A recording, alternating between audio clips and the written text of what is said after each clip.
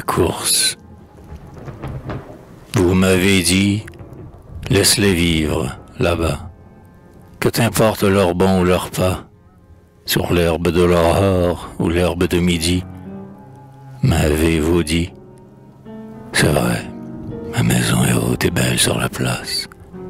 C'est vrai que ma maison est haute et belle et vaste, faite de marbre avec un toit de tuiles d'or. J'y vis, j'y dors. Mon paille trône sur les dalles, le cuir taillé de mes sandales, et mon manteau sur le pavé frôle son bruit de laine souple. J'ai des amis, le point levé, qui heurtent en chantant leur coupe à la beauté. On entre, on sort. Ma maison est vaste sous son toit de tuiles d'or. Chacun dit, notre hôte est heureux. Et moi aussi je dis comme eux. Tout bas, à quoi bon vivre? Là-bas À quoi bon vivre ailleurs qu'ici? Puis le soir vient, je suis seul alors dans l'ombre, et je ferme les yeux. Alors, il me semble que l'ombre y forme peu à peu, tressaille, tremble, vibre et s'anime et se meut, et sourdement s'agite en son silence obscur. J'entends craquer la poutre et se fendre le mur. Et voici, par sa fente invisible et soudaine, que, sournoise d'abord et perceptible à peine, une odeur de forêt, d'eau vive et d'herbe chaude, pénètre, se répand, rampe, circule et rôde, et, plus forte, plus ample et plus universelle, s'accroît, se multiplie, m'apporte avec elle les diverses senteurs que la terre sacrée, forestière, rustique, aride ou labourée, mêle au vent de la nuit, du soir ou de l'aurore. Et bientôt, peu à peu, toute l'ombre est sonore. Elle bourdonne ainsi qu'une ruche éveillée qui murmure au soleil à travers le feuillet, après la pluie oblique et la verse pesante. Voici que maintenant toute l'ombre est vivante, et que la nuit bourgeonne et la ténèbre pousse. Le siège où je m'appuie est tout velu de mousse.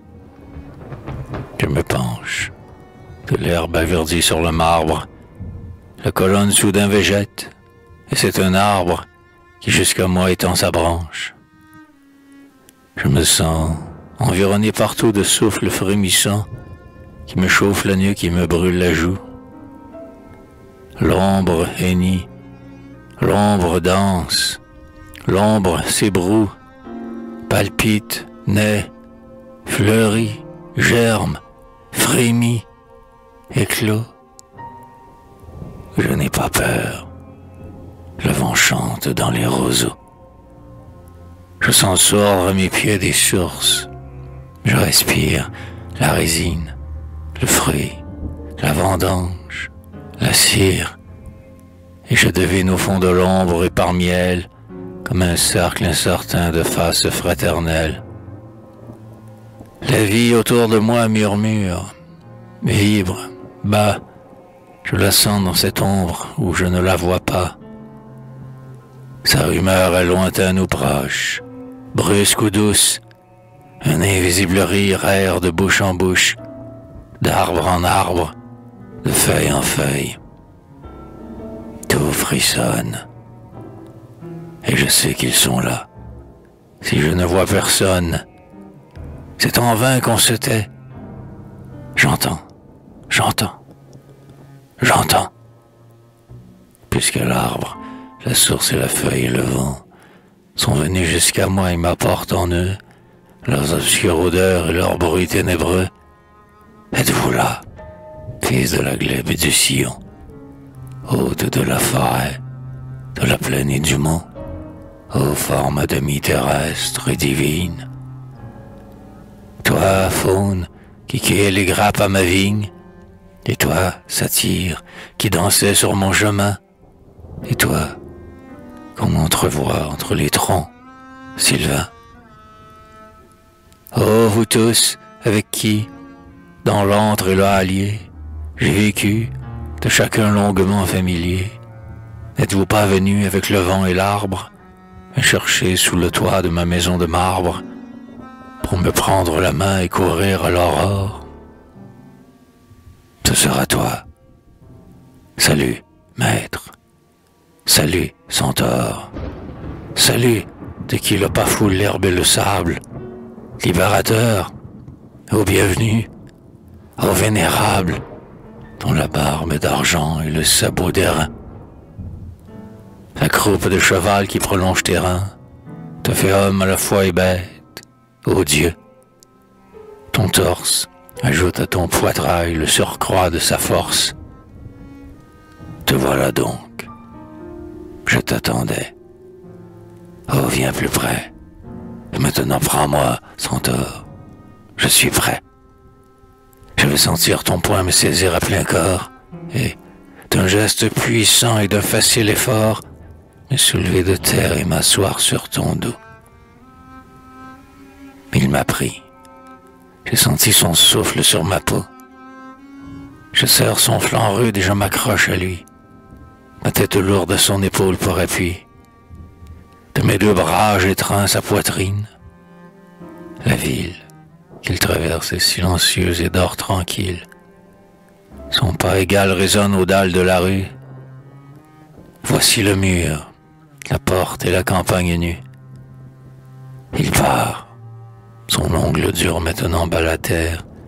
Et toute la nuit vaste, immense et solitaire, et l'ombre aventureuse et l'espace incertain s'ouvre au cabrement de son galop divin. Oh vertige, l'élan du nocturne coureur m'emporte. La ténèbre est sourde et sans lueur. Le sol tantôt s'éboule et tantôt s'affermit. L'air rapidement enivre, il m'étouffe à demi. Le centaure tantôt se cabre et tantôt fonce. C'est en vain qu'en passant, l'air avec sa ronce, le retient au poitrail ou le griffe à la croupe. Sa course furieuse et brusque s'entrecoupe.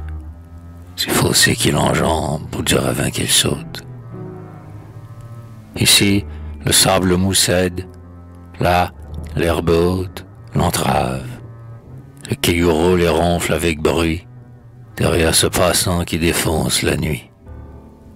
Le terrain sous son pied s'ébranle, gronde ou sonne, une montée en vain le souffle et l'époumonne, que sa pente le rue et redouble l'élan du centaure qui va, passe, monte, descend, et d'une fougue égale et d'un même jarret, sort ruisselant du fleuve et boueux du marais, franchissant taillis, plaines, bois et vallons, parcourt éperdument l'ombre sans horizon, tandis que moi, uni à sa force mouvante. Ivre d'air qui m'étouffe et de vent qui m'évente, je respire en sa triple et formidable odeur le Dieu terrestre, l'homme et la bête en sueur. Encore longtemps, toujours et d'écho en écho, l'espace retentit sous les quatre sabots. Voici l'eau pourtant, et qu'il soit uni encore. La ténèbre blêmit et l'ombre se colore.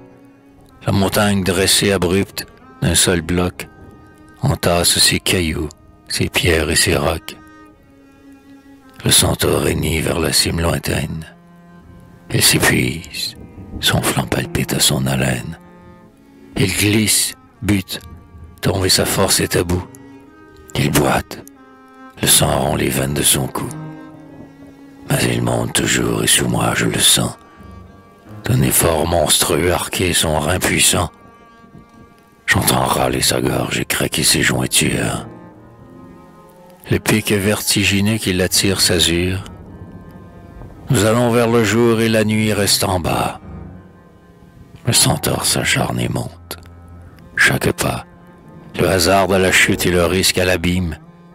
Mais tout à coup, d'un bond furieux, à la cime, sur le rocher étroit du suprême plateau, d'aplomb, il a posé son quadruple sabot. Et tout fumant encore de sa course sacrée, tournant sa tête en feu vers sa croupe dorée, prodigieux, aérien, pourpre et vermeil, il se dresse debout, rit dans le soleil.